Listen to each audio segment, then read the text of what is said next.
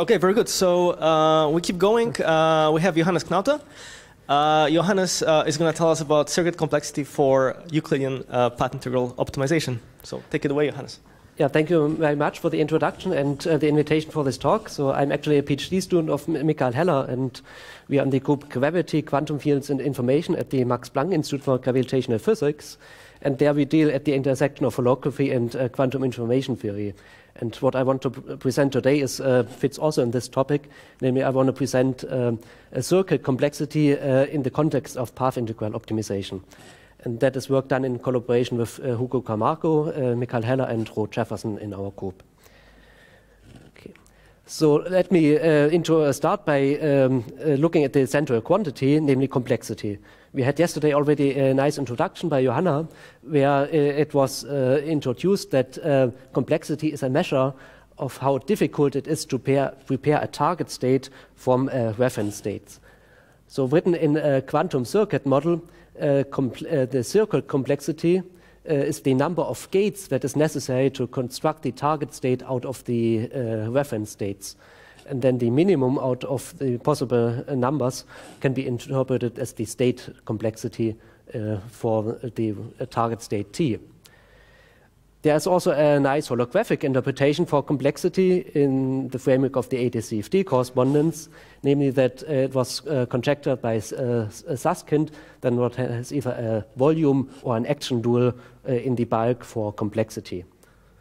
However, uh, we are working on the uh, in the continuum uh, on in quantum field theory on the in the quantum field theory side. And there, the basic ingredient uh, is that the quantum circuit is seen as a path-ordered exponential.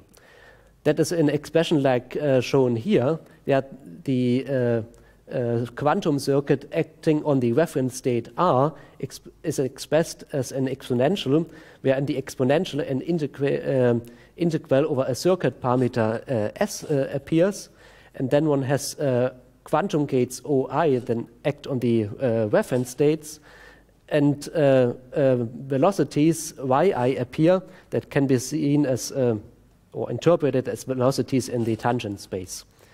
And this quantum circuit is in the continuum and, and prepares the target uh, state. And as it was uh, um, uh, outlined by uh, Heller and collaborators, then the circuit complexity in this framework can be, for example, seen as uh, um, geodesic that is uh, calculated with respect to a Fubini-Study metric. On the other uh, uh, hand, there's a proposal by Jefferson and Myers that employs a similar geometrical approach to this problem of finding a complexity, where the optimal circuit is now seen as um, similar as a minimum geodesic, that is based on a gate counting uh, based on a cost function that is defined. So that would be an object uh, like this, where one defines uh, a cost function as an integral over the circuit parameter and um, um, a sum over the uh, uh, velocities that are either taken with respect to a metric or also as the sum over the absolute values, for example. I will call these example or possibilities as kappa equals 2 or L1 norm. On the other hand, I make a connection to path integral optimization as introduced by uh, Takayanagi.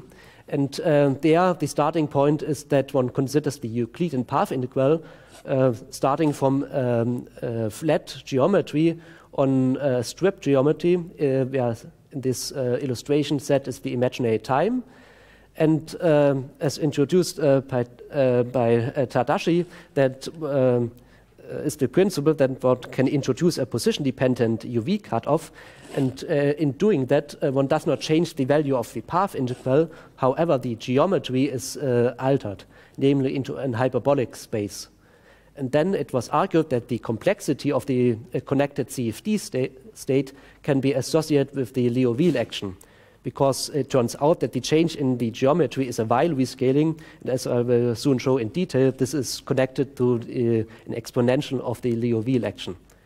And it actually turns out that the maximally optimized result is a tensor network, as uh, in particular the MERA network, as we have already encountered a lot of times in this uh, conference. Furthermore, uh, there's an interesting connection to quantum gravity outlined by uh, Czech, where uh, Einstein equations were derived from varying the complexity. And uh, even more, it was uh, shown in a tensor network picture of this Euclidean path integral that the optimization actually corresponds to uh, the coarse graining of the tensor networks, and then one can identify piecewise the Weyl rescaling. And it provided a further uh, argumentation that the complexity actually can be uh, given by the Liouville action.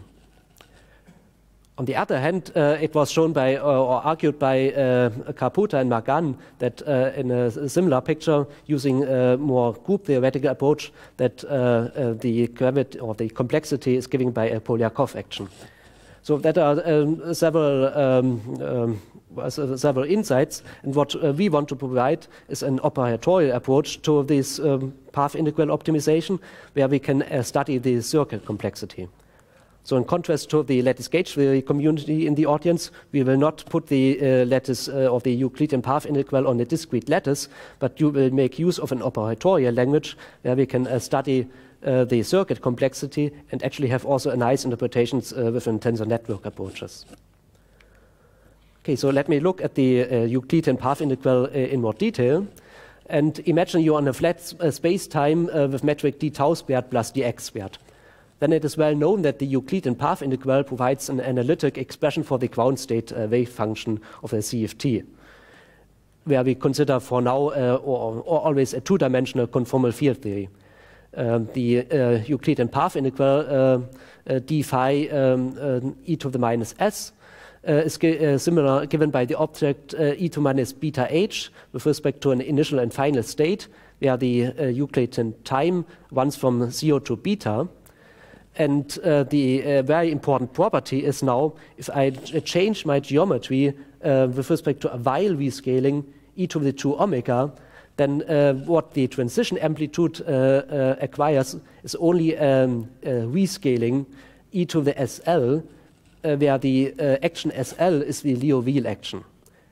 And the Liouville action is shown in this expression it contains a kinetic term with respect to the function omega that is parameterizing the, uh, the Weyl uh, rescaling, and um, yeah, potential term e to the 2 omega, where the uh, coefficient uh, mu sets uh, the units in terms of an UV regulator uh, 1 over epsilon squared.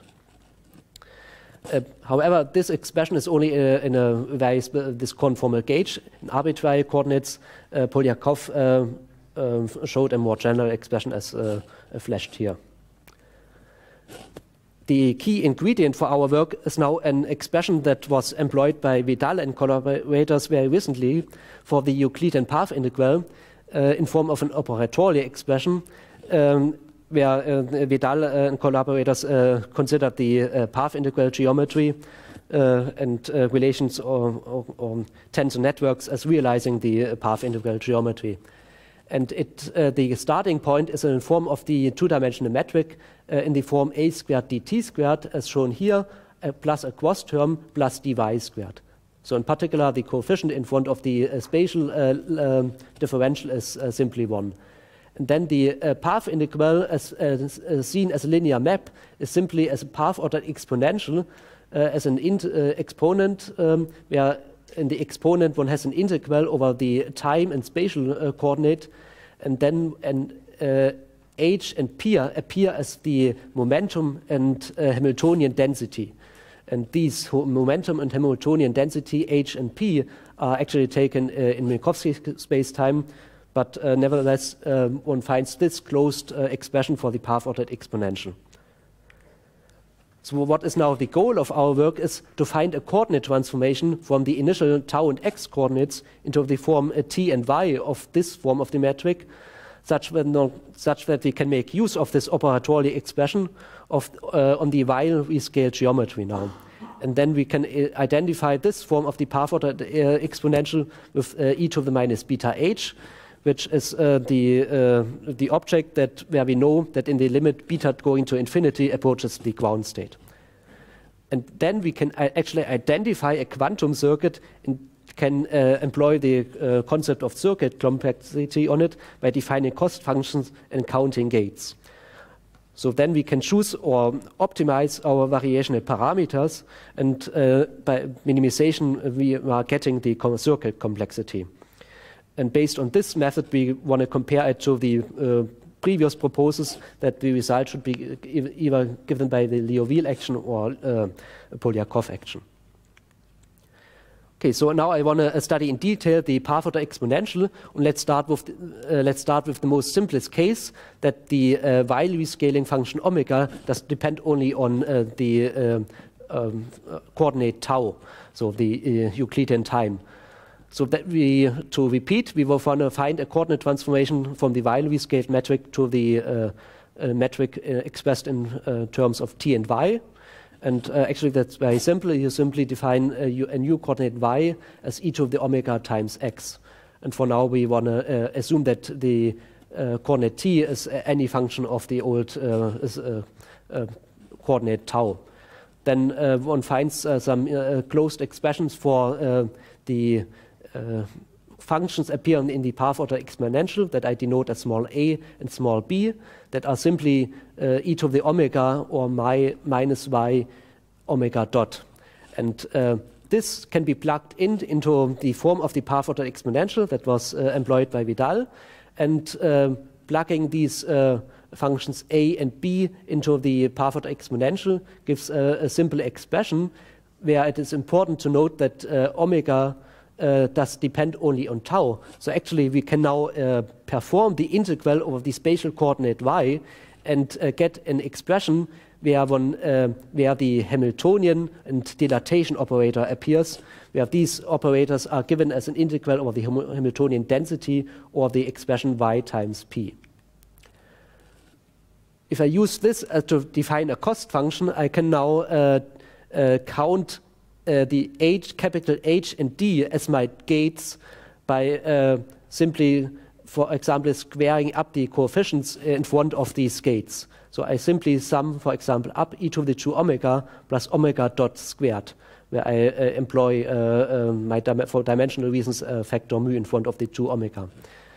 So this is similar to taking also derivative or summing up a squared and derivatives of this function b, but uh, you already uh, see that one can uh, transform this integral back into the previous coordinates tau and x. And what you get looks very similar actually to the Liouville action, with the only difference that you have an additional factor either to, to the 2 omega over t dot. Yeah, t dot uh, denotes a derivatives uh, with respect to the initial coordinate tau. So what you can do, you can choose your function t uh, such that it cancels the previous this prefactor and what you get is indeed the Liouville action as the circuit complexity based on this uh, gate counting. However, this is only a very special case for a special uh, time slicing. So let's go to a more complicated case, namely a transverse dependent circuit, where now uh, this uh, Weyl rescaling function omega does depend on uh, tau and x. So consider a general coordinate y uh, uh, that depends on tau and x, and um, formulating the total differential as um, uh, in terms expressed in terms of the co initial coordinates d tau and dx. You can plug this into your uh, uh, metric to, and demand um, an equality. Gives you a closed form uh, for your coordinate transformation, where the new coordinate y is defined as an uh, integral over e to the omega of the, the spatial coordinate up to an arbitrary function that de does depend only on uh, uh, the Euclidean time. So what you get is again an, a closed expression for the path order exponential that uh, is equivalent to e to the minus beta h, the Euclidean path integral. However, this and now you cannot perform the integral over the spatial coordinate because all the functions are dependent on uh, tau and x. So we do not get uh, the Hamiltonian dilatation operator. However, uh, we still want to count gates by defining uh, a norm or cost functions. So the question we want to ask is what is the general structure or what uh, functions can appear in the cost function? And there are general principles, namely that uh, this cost function is similar to uh, an action, so we need an overall dimensionless uh, object. And furthermore, we do not want to count or contain t derivatives because in the interpretation of the quantum circuit containing uh, uh, velocities, as I presented before, these would correspond to, uh, um, th this would mean that the uh, circuit depth would depend on the acceleration of the quantum circuit, which is, uh, we do not count as physical.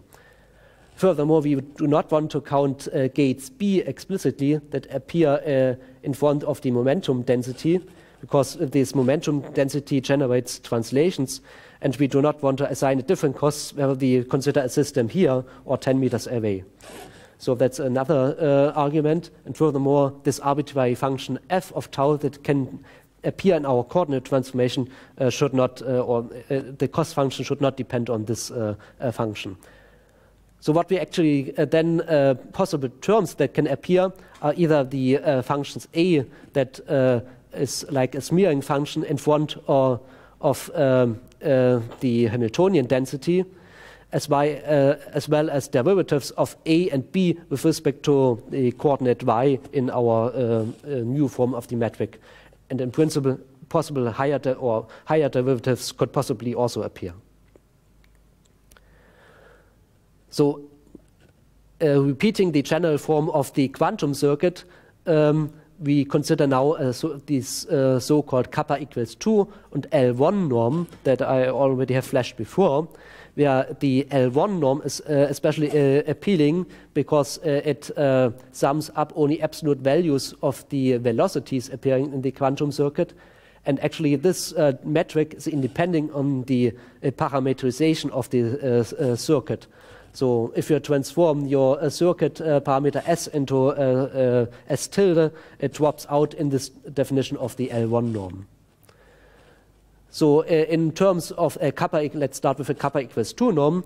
Uh, several terms could possibly appear in our the definition D for our cost function. Namely, we could square sum up A squared with an, for dimensional reasons, we have in power 1 over epsilon in, in front of it as well as derivatives uh, of delta y a squared and delta y b squared, where in principle one could allow for different weights of these uh, gates uh, um, that are, can, seen, can, be seen as penalty factors. The higher derivatives that I mentioned before uh, could uh, actually uh, contain a positive power of the UV regulator epsilon in front of it. So the, if you take the limit epsilon going to zero, they would disappear. So we want to consider these allowed terms in our cost function. And if you do this coordinate transformation, uh, you get uh, actually very simple uh, expressions for the gates uh, A and uh, derivatives of A and B with respect to Y that are simply expressed uh, in terms of derivatives of omega with respect to tau and x. So collecting all terms is um, you get this expression for the kappa equals 2 norm or cost function that uh, contains a term that already looks like Liouville, namely mu uh, times e to the 2 omega plus the kinetic term of uh, the Weyl scaling function omega plus a prefactor e to the 2 omega over t dot. However, since uh, we for now want to assume that uh, omega does depend on both coordinates while t not, this cost function does not reduce to the Liouville action in general. So uh, one can, however, note that we can cancel this prefactor by a different uh, definition of a uh, uh, uh norm, by simply uh, given by this expression. However, this does not represent a proper counting where counting gates mean that I can represent a cost function based on the uh, upper expressions uh, where um, the quantum circuit is, is re uh, respected. So I can only the kappa equals 2 norm express uh, with, with, respect to a metric given in a closed uh, form. So uh, for now, I've shown you only a special case um, uh, not for a general coordinate transformation, the form of the kappa equals 2 uh, cost function. So assuming a general coordinate transformation, where I now assume that the new coordinate t and y depend both on all possible or on both coordinates, one can play the same game. And um, what you uh, get are now uh, very complicated expressions for the um, smearing functions a and b in the dot exponential that now contain all possible derivatives with respect to the initial coordinates tau and x. However, the uh, expressions simplify very much if you uh, define a new coordinate sigma that has a very natural interpretation. if you consider a coordinate uh, point t of tau and x and an infinitesimally uh, separated neighbor, then tangents of sigma represents exactly the angle between the uh, infinitesimals d tau over dx. So using this general, general coordinate transformation uh, and employing the coordinate transformation with, with, respect to the L1 norm, which means that you sum up absolute values of delta of a, delta y a, and delta y b um, with uh, appropriate powers of the UV regulators that sets the dimensions, you get a closed form expression um, uh, in terms of sigma and omega.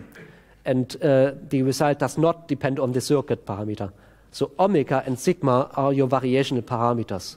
So in contrast to the Liouville action, we have an additional parameter that uh, appears in the expression for your cost function. And uh, if you now assume a translational invariant uh, subcase where omega does depend only on tau, uh, the cost function reduces very nicely into the form e to the 2 omega plus uh, e to the omega times omega dot as shown here, which uh, the second term is simply a total derivatives. So you can minimize this uh, cost function, which is like an action, if the profile omega goes from zero which is the boundary conditions, to minus infinity. Then this term uh, approaches zero. And uh, in your uh, geometry, this profile looks like uh, as uh, indicated here. You are in the tau x plane, um, the path integral is taken from zero to infinity. At uh, the boundary, we do not want to change our geometry, so omega equals zero and then it uh, omega approaches uh, in an instantaneous profile goes to minus infinity. And actually, as uh, shown by Vidal, an infinite uh, dilatation corresponds to a layer of MERA. So we can interpret uh, nicely this form of our uh, minimal cost function. And uh, yeah. So, and in the middle, we have a Euclidean time evolution with respect to a coarse-grained uh, Hamiltonian. So this uh, is uh, with respect to the kappa equivist. Uh, this was with respect to the L1 norm. Now we can uh, again consider our kappa equals 2 norm, where in the uh, simplest case we could uh, reproduce the Liouville action as our circuit complexity.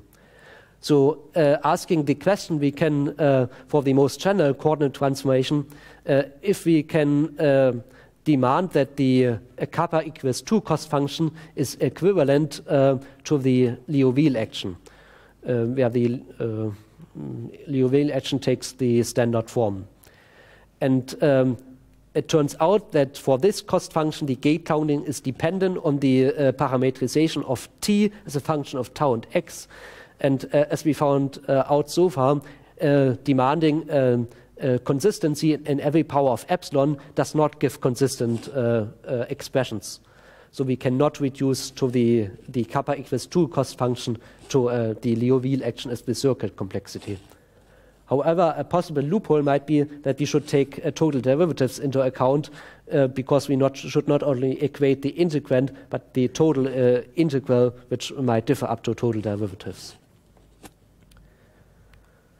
Okay, so uh, let me summarize what I have shown you. I um, uh, have presented um, that circuit complexity can be assigned to the Euclidean path integral if we uh, take a coordinate uh, transformation from the widely scaled metric uh, to a new form uh, into account. And the proposal is to count the Hamiltonian momentum density in the path of the exponential as gates. And natural choices are the kappa equals 2 and L1 1 that yield uh, in, in general more uh, complicated expressions than the Liouville action. And only for a translational invariant circuit, we can choose a time slicing that reduces to the uh, Liouville action, but not in general. And we have, uh, um, uh, in general, three variational parameters that, by minimization, give the circuit complexity. So open questions in this framework might now be if we can apply Virasoro generators uh, explicitly to the path of the exponential and what uh, result we get. Furthermore, we want to explore in more detail the relation to tensor networks. Uh, and uh, we um, might also ask if we can take the general expression for the Liouville action uh, given by Polyakov, uh, if we can also use this expression directly. So let me give only a very short outlook to a very related project. Um, um, in addition with uh, Suki Singh from our uh, local group, as well as Michael Walter and uh, uh, from uh, Amsterdam, where we want to explore the path integral optimization and uh, complexity very or computationally uh, by tensor network approaches.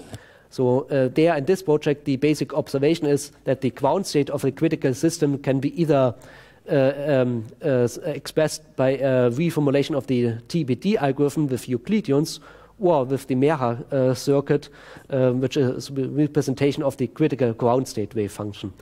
And then one can uh, assign, for example, the Fubini-Study metric in every in, um, time step to assign a complexity of our state.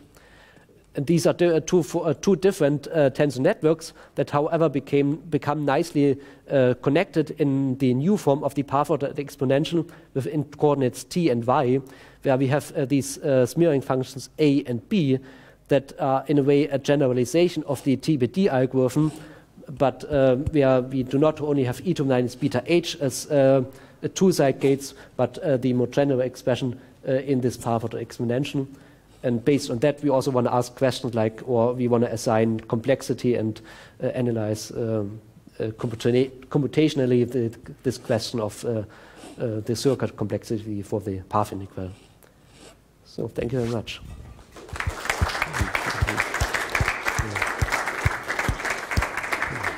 Okay, very good. We have time for questions. I see Tadashi and Johanna, so I'll start with Johanna.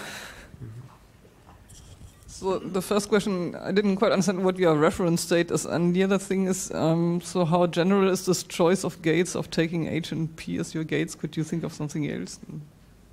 Um, so um, it is uh, totally independent of the reference state. It's only uh, an expression for the path integral seen as a linear map that is independent for or independent of the reference state. So we actually never uh, consider the reference state. Mm. Uh, uh, sorry? Isn't the reference state included in the definition of complexity? Uh, the complexity is uh, dependent on the reference state, uh, that, that's right, but um, well, we only see the quantum circuit for now, so mm, I don't see immediately a way to take the reference state into account. But yeah, in general, it would influence the, the complex circuit complexity. Yeah. Um, okay, so so how general is it to take H and P as your gates? I mean, could you is that a natural choice? or Could you think of something else? So uh, we became aware of this path ordered expansion by uh, uh, um, Vidal. Uh, actually, this result is for CFT uh, already older, but um, well, it's uh, it's this we can we the only different choice would be to re-express H and P in terms of Virasoro generators. one could possibly as, uh, use different uh, gates, but this is uh, the only form of the path order exponential for CFT that we have. So um, I'm not aware of any other gates that uh, could appear. Okay, let's move on with Tadashi. So I want to know, uh, I, I want to understand the time slice dependence you mentioned when you compared with Liouville action. Yeah. So, uh, I mean, if we fix some uh, path integral in some curved space, I, I thought that I mean, complexity is uniquely determined, but are there any ambiguity when we compute uh, complexity? So the ambigu ambiguity is uh, in defining the, the cost function, how you count uh, h and p with respect to what norm or cost mm. function. And if you, and in principle, what I uh, ne uh, neglected is that one possibly could have also cross terms appearing here. Uh, Uh, which, however, uh, in the simplest case, uh, did not uh, reduce to Liouville action, so we do not take them into account in the most general case. But uh, the choice of the cost function is the ambiguity of the, the time, time slice. Yeah, you have. I see, I see. Thank you.